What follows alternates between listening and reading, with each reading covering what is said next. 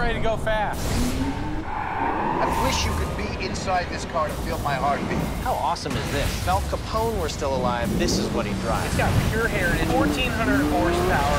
Fastest one there. Ready? Go! You guys ready to get your kicked here? Holy moly!